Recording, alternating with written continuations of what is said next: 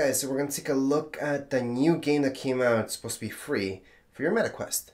So, if you went through the email, you accepted it, or you just went through the app and you already have it there, well, all you have to do in your VR itself, so right here, go to your MetaQuest and look for it. At this point in time, you could go into the store, which you could see down here below, or instead of instead of installed, you can just go into not installed and it should be in here.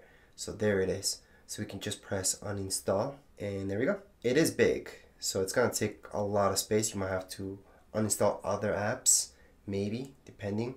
So I've installed all of these at the moment and just to make sure I have enough space, what I'm gonna do is take out this app. Actually, you know what? Never mind. I do have enough space.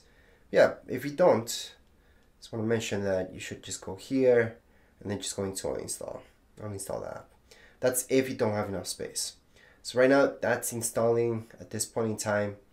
There's uh, some updates that I need as well, but we're gonna run those later. Make sure there's no updates happening or anything else that can get in your way. You want this to download fast. And right now, if you don't see it there, for example, I would have just gone into store and then just look for that app right here.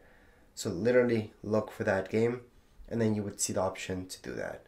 So right now, all we have to do is just wait for the game to install and then we're gonna be done with this. So while this is downloading, just download it right now. What you can do is take off your headset because it is 31 gigs. Or you could play, I guess you could play, but you could also take off your headset, leave it plugged in, so have it charging, and then just come back to it later once it's done. Because it is 31 gigs so it will take some time for some of you. For others it's just gonna take a few minutes or a few seconds. But as of this video goes we are all done. If you guys have any comments questions you guys can write them down here in the comments area. Don't forget to subscribe and like. Thank you